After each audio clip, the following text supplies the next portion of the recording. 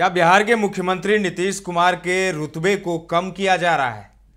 क्या सचमुच सीएम नीतीश की कुर्सी पर खतरा मंडरा रहा है? आरजेडी तो यही कह रही है। और सवाल भी उठ रहे हैं, क्योंकि बीते दिन जो हुआ, वो कहीं ना कहीं एक बड़ा संकेत दे रहा है।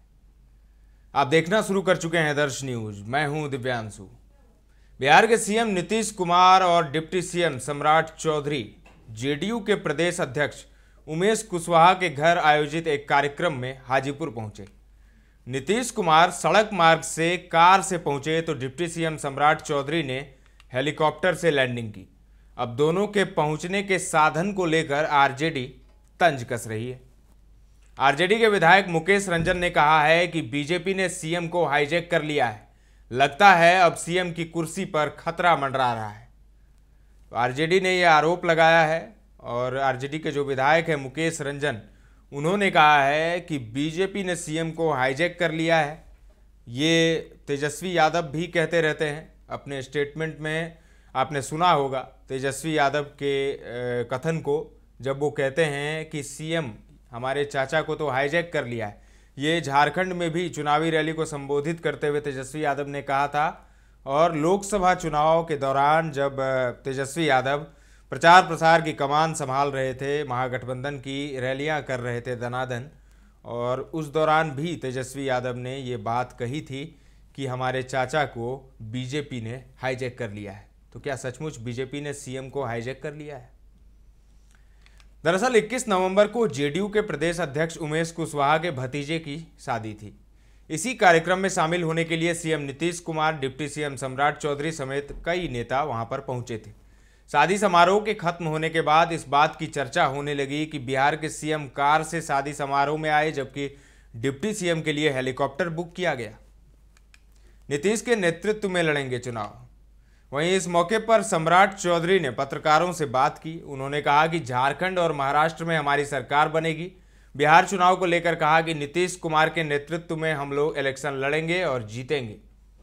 तो कहना कुछ और है, करना कुछ और है। हेलीकॉप्टर से सम्राट चौधरी जा ही रहे थे, नीतीश कुमार को भी साथ रख लेते। थोड़ी सी लाज रह जाती, क्योंकि भाई सीएम जा रहा है कार से और डिप्टी सीएम हेलीकॉप्टर से, ये किसी को पच नहीं रहा है। शायद इसी वजह से आरजेडी तंज कस रही है।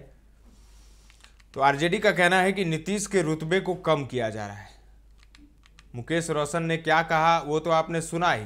मुकेश रोशन ने आगे ये भी कहा कि नीतीश कुमार की राजनीतिक हैसियत को कम करने की कोशिश की जा रही है।